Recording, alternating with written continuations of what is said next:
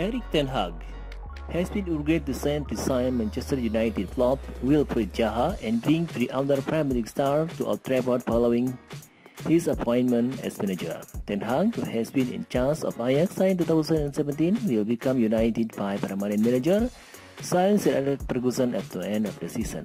The Dutchman takes over from Ralf Rangnick, who was placed in temporary charge after sign following Ole Gunnar Solskjaer's taking in November. With Manchester United currently just sixth in the Premier League and without a trophy since 2017, Ten Hag is expected to oversee a major overhaul this summer, with several players set to be uploaded and a number of new signings targeted.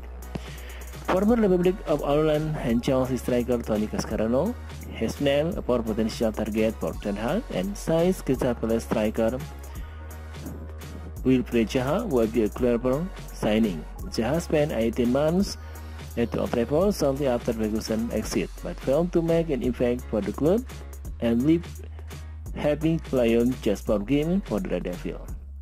Ten Hag should focus on bringing in players who are already proven this summer, rather than assessing our potential. Cascarino told the Times before interviewing Zaha, Harry Kane, Kalvin Phillips, and Yves Bissouma are possible United signing for this summer. The best example of that is Harry Kane.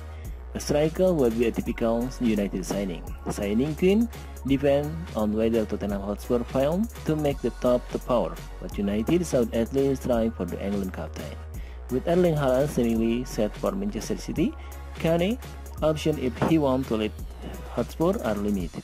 Harry Kane could provide Kane, Outlive, and Robin Persie did win he moved to United from Arsenal in 2012 and helped them win the Premier League in Sir Alex Ferguson last season in Jazz.